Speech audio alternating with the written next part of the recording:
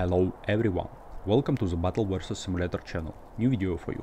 Medieval vs Spartans in Ultimate Epic Battle Simulator 2. In this video you will see how 150,000 heavy knights and 10,000 archers will fight against 150,000 Spartans and 10,000 Roman archers in the desert. Before you watch video, write in comments who do you think will win.